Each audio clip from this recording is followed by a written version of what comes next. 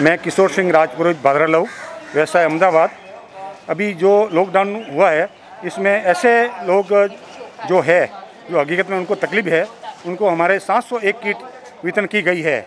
और आज जो कार्यक्रम, जो विधवा महिला है, उनको एक राशन किट दिया जा रहा है। ये माजिसा मित्र मंडल अहमदाबाद निमित्त मात्र बनता है और सभी भामाओं का सहयोग से ये कार्यक्रम हो रहा है।